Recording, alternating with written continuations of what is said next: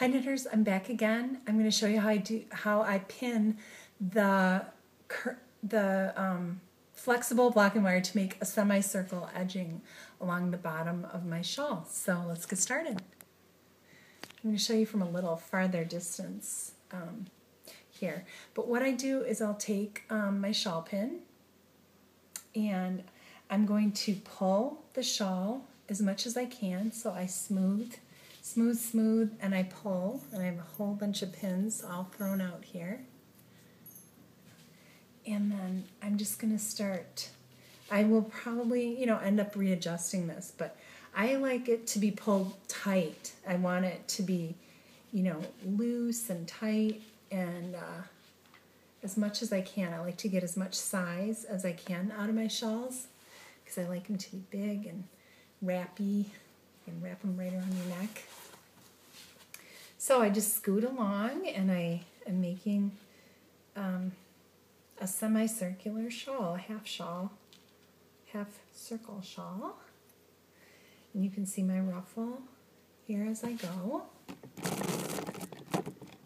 Now I'll try to do a little closer shot so you can see more exactly what I'm doing. So um, these I want the pin to hold hold that flexible wire in place. So again, I'm putting it at a 45 degree angle. See, this is what I end up doing. I go back and I readjust them as I go.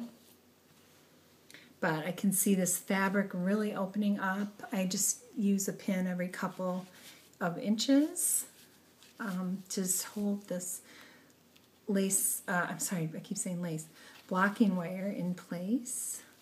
And just move along all along the bottom of the shawl here. So I pull, pull, pull as much as I can. I pull that into shape, the shape that I want. And then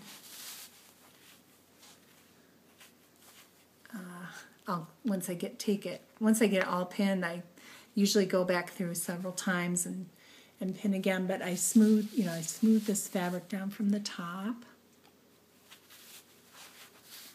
And I really pull, so you can see all these eyelet holes are really opening up in the fabric.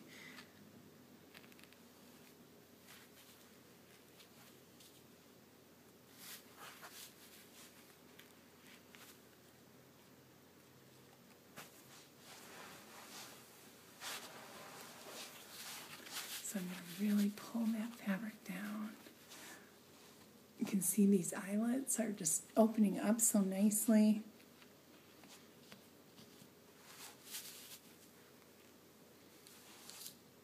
Grabbing my pins around my little tripod here. Sorry about that. You know, really want it to pull, pull, pull down. And I guarantee I'll go back through this several times and try to get as much length as I can out of it and try to make it all nice and even.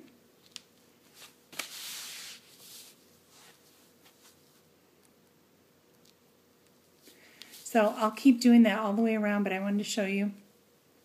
Now, um, this shawl does have a ruffle edge, and so I want that to be nice just kind of freeform roughly. But I loved when Paula um, of the Knitting Pipeline has a a um, a video on blocking a shawl too, and it's it's very good. And I loved how she described.